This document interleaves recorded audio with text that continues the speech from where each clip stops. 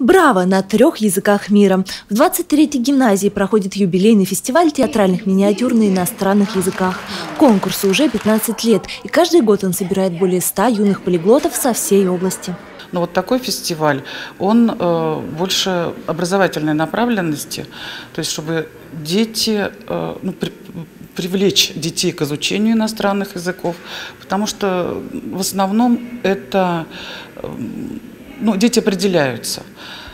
То есть кто-то выберет затем факультет РГФ, кто-то, может быть, выберет театральные институты. Творческие коллективы представляют театральные постановки по пьесам русских и зарубежных писателей, а также народные сказки и авторские истории. Все это на английском, французском и немецком языках нужно заучивать слова и подбирать интонацию. Когда ты говоришь на русском языке, то как бы ты понимаешь, что значит, что значит эти слова, и как бы можешь сам говорить вопрос, где восклицание, а на французском нужно специально все переводить и готовиться очень серьезно. Жюри никаких поблажек не дает. Для конкурса недостаточно просто взять и заучить текст. Чтобы передать эмоции, ребятам важно не только понимать, о чем они говорят, но и вжиться в роль, чтобы образ героя получился убедительным и максимально естественным.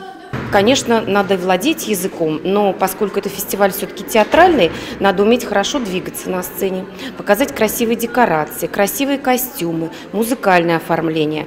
К тому же, ну, каждый год нам просто приходится удивляться выдумке и новизне тех педагогов, которые привозят свои коллективы. Настолько они достойно выступают, и каждый раз планка становится все выше и выше.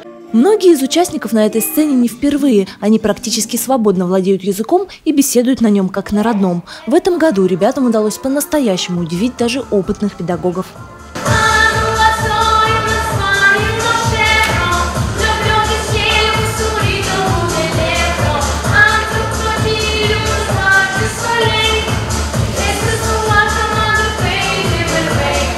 Мария Попова, Денис Денисов, РТВ Иванова.